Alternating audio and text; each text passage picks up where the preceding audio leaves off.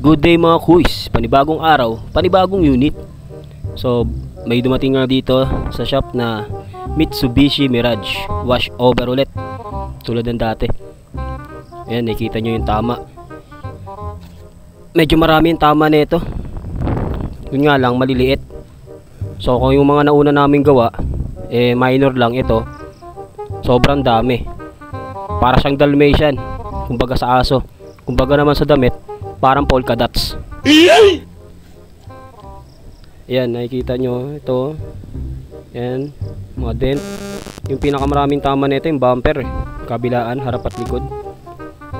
Tinadtad siya. Yung sa bubong, ayan, yun na yung malaki. So medyo maproseso din siyang gawin. Ito yung ano, yung mahirap. Mas gusto ko pa yung ano, yung malaking tama kaysa sa maliliit eh. Kasi yung maliliit, maliliit nga, ba't dami, ang dami naman, sobra. Ayan, si Tinre, nakikita nyo naman na kanina, nagsisimula na. Namasilya na namin yan yung nakaraan. At so, habang busy si Tinre, nagliha akin, yung side ko naman pupundoan ko muna kasi medyo kulang pa yung sa ilalim yan eh. Kakabulang ko pa yan. Kaya, sige Tinre, bukas ka muna dyan at maya maya na ako babanat ng pagliha. Timpla muna tayo ng halo. Siguraduhin natin na wala mga kalusot. Mahirap na eh. Baka madismaya sa atin yung customer. Pero matutuwa yung customer na ito pag nakita niya yung ano, yung pagtapos na ito. So nakita nyo yung pang- pangmasilya ho namin kulay dilaw.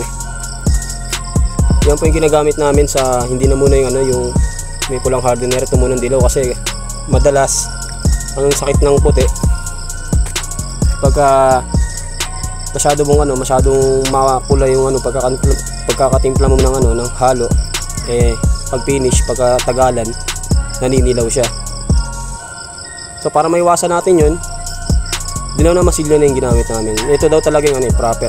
Sabi rin talaga ng Tito Bombs. Dapat ito talaga yung pang masilya sa puti. Para maiwasan din talaga yung paninilaw. Ayan, nakita nyo. Agod. Ang problema lang dito sa dilaw na masilya, medyo matagal siya matuyo, no? So, kailangan pa namin gamitan ng heat gun. Hindi katulad nung glacerate na ginagamit namin, sa gilitan lang. Segundo lang talaga. Ito, ano eh. Parang mga isang minuto bago siya matuyo. Pero yung good side naman niya,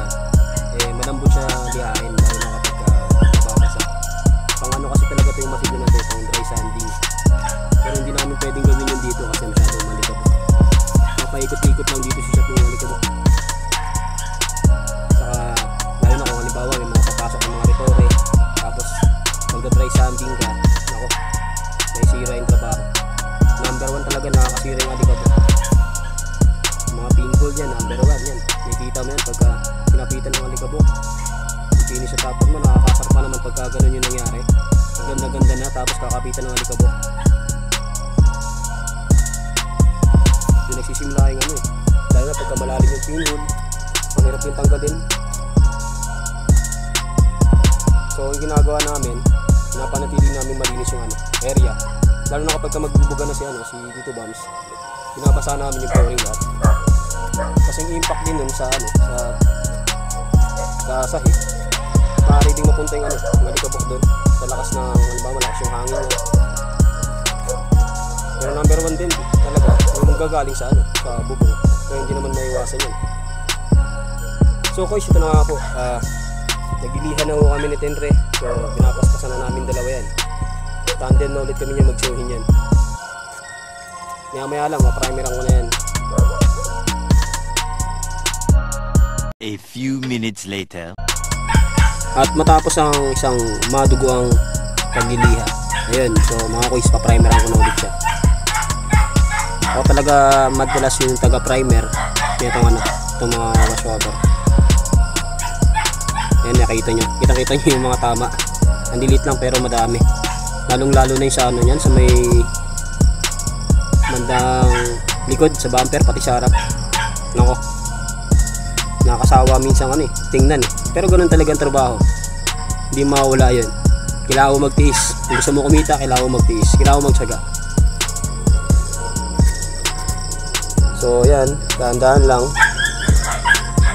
maganda magpintura ng mga araw na yan kasi ano, ma maano yung sikat ng araw, yung baga matas. So yun nga pala mga kuys, so yung mga ginaryo namin dyan, pansamantalang dyaryo lang muna yan. Hindi pa yung ano yan, hindi pa talaga yung balot na dyaryo talaga yan. Pansamantala lang yan para maka-primer kami kaagad sa araw na yan. Dyaryo lang muna namin yung mga tatamaan lang, yung mga maaring ano, ma overspray. Siyempre, importante din yung mga salamin, ilaw. Kaya kung titingnan mo siya, kala mo ano lang. Kala mo yung isinapin lang na kumot.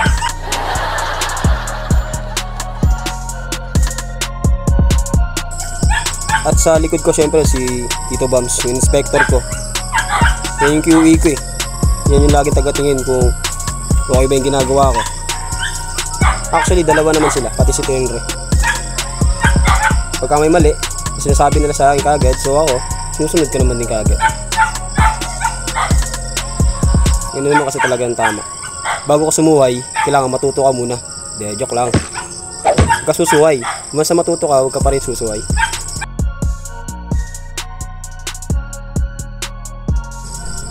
So yung quiz, tapos kung ano, primer ano ito itsura niya. Tingnan niyo kung gaano karami yung tama, di ba? Kaya masasabi mo talagang polka dots eh. Tingnan mo naman, ang liliit lang yan pero ang dami. Pero okay lang kasi may trillion mga ganyan eh. Pagka mga ganyan kalalala yung mga tama. Yung mo talaga masasabi kung anong klase ka talagang pintor. Ba, lalabas yung ano mo dyan, yung talent mo. So ito, yan yung nabalutan na siya namin ng dyaryo. Na liha na rin namin yan, napakinis na namin yan. Ano na yan? Naka-prepare na yan para sa ano, sa pondo ng kulay.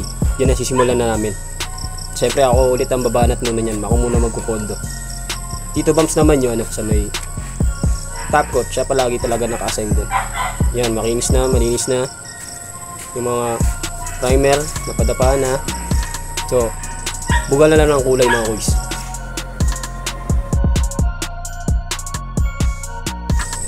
At malinis na nga yung lahat. Nakatuyo na yung ano, yung unit natin.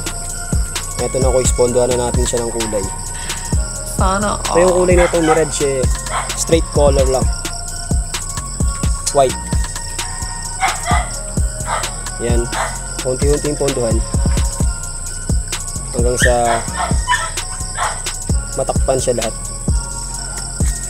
Yan. Medyo inayos ko pa yung camera ko guys. Gumagalaw kasi. Ang hirap pagka wala pang tripod. So ayan, dito muna yung unahin natin itong front. Saka lang tayo lumipat maya maya pagka natapalan na talaga. Kumbaga, napondohan na ng maayos to. Napapansin nyo guys, hindi ako nag ano, hindi ako nag-steady sa isang lugar. Baka pondo ko, lipat ulit, patuyo lang siya ng konti. Mabilis lang matuyo yun eh. Yan, lakad ulit. Dahil pala lakad sa likod ko ah. Pero mga busy din yung mga kasama ko dyan. May mga kanya-kanya kaming hawak niyan dyan. Dito sa gilid. Pondo.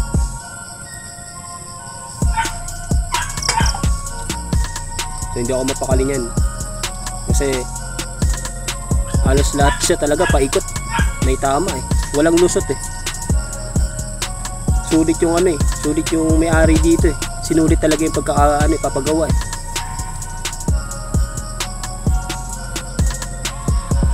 Ayan sa kabila. So yung ano na yan, yung fender na yan, yung nakita nyo ngayon sa fender saka sa bumper. Ano nga pala yan, boys? Lubog yan, so nalatero na lang. Kasi nabulan lang namin ng masilya.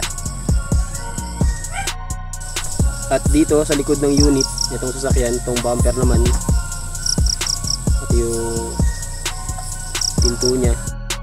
kabilang side, pondo rin ng kulay. Yan, napakarami oh, sa ilalim. Yan yung mga tama na yan. Ang liliit lang pero no, sobrang dami. Ano kasi siya eh, yung mga gasgas to lahat na mga malalalim na gasgas. At dito syempre sa driver side. ponduhan na rin natin ng kulay so medyo malapit na yung sa kabila yung sa unahan mga, pati sa kabila sa passenger side pati dito sa likod ng bumper. So naponduhan ko na yan. Ito na lang yung ano kulang. Itong passenger side. Ay sa drop ano driver side pala. Ito na lang ito na lang yung pondohan ko ng ano, ng kulay. At balik nga tayo ulit sa harap. So sasarado na natin siya ng uh, kulay. Buuan na kumbaga. Kung yung kanina ano lang spot spot lang. Eto tatakpan na natin talaga siya ng panglahatan. Sarado na ng kulay. So nakita niyo bumalik ako sa harap. Kung sa may ano sa may unahan pupuliduan na natin ang lahat yan ng, ano, ng kulay na dapat wala rin talaga makakalusot. Lalo lalo na puti ito kasi kitang kita yan eh may isang na primeran ka lang dyan na hindi tinamaan ng kulay. Kitang kita yan kagad pagka na finish although hindi tayo perfect pero hanggat maaari dapat eh yung trabaho natin malinis. Malinis nga tayo sa ano sa katawan eh. Doon pa kaya sa trabaho natin di ba? Dapat malinis din tayo.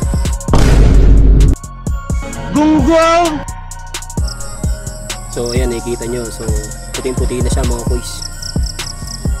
Wala na hindi na kita yung ano Yung primer. Medyo siguro mga naka Tatlong patong din ata ako dyan. Pero syempre pagkapatong yan mga kuys Ng pondo ng kulay Hindi naman kagad finish yan yan Ni Tito Bams Lilihain pa rin yan Pero yung pinong-pino na lang Tapos konting habol lang ulit. Pinakamanipis na ng kulay sabay diretso na tapo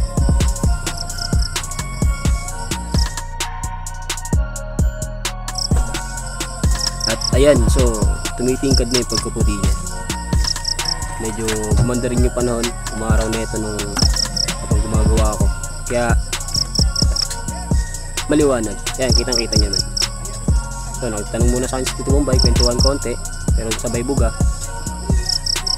Nga pala yung mga una, nakikita nyo wala akong ano, wala akong respiratory mask. Medyo kaya ko pa kasi yung amoy. Pero nung banda ng sobrang kumukulob na, medyo suffocate na rin ako kaya nagmas na ako. Hindi na kaya. Sakit din talaga sa, ano, sa ulo pagka yung nandiyan ka sa loob ng oven yan, oven. Pero okay lang din A kasi may time. At eto na nga po yung kinalabasan quiz ng trabaho natin. Ayan, pondo ng kulay.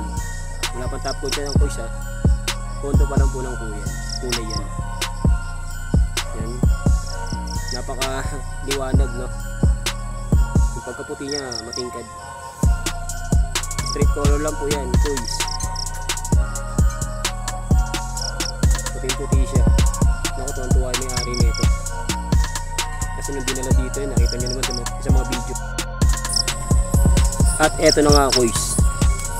Final top coat application. Si Tito Bombs na yung titirado niyan. Ayan na.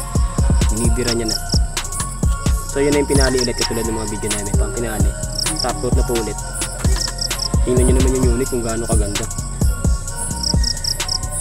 Napakalayo sa dati niyang itsura. Pwede mo, pwede mo rin talaga sabihin na yung mga pintor eh, magician. pero hindi rin kasi skill talaga yan. yun talaga yung ano yung talent kumbaga pinaghalong skill tapos talent pinagsama mo art din kasi talaga to eh. Isipin mo yung pangit napapaganda mo. Yung luma nagmumukhang bago. Yung makalawang kumikintab kakaroon ulit ng buhay. Yung mga yupe na ibabalik sa dati. Yan ang mundo ng painting. Mundo ng mga ano, mundo ng mga pintor. Sasakyan. Ganun din sa bahay yung mga pintor sa bahay salute din sa inyo lahat pagpatuloy lang natin yung mga ginagawa may sukli din naman yan Ayan, napakabilis na galawan lang ni Bombay kagandahan dito sa Mirage na to no ano pagka iikot ka, magpupondo ka ng kulay, magpa-primer ka, magtatap coat ka. Mabilis lang kasi maliit lang siya. eh. Mga compatible. So guys, kung nagustuhan mo yung video na to, huwag mong kalimutang mag-like, mag-subscribe, at i-click mo na rin yung notification bell para lagi kang updated sa mga bagong video na ilalabas namin ng mga kakuya-koy. Maraming maraming salamat ko sa panonood. Ingat tayo sa maghapon.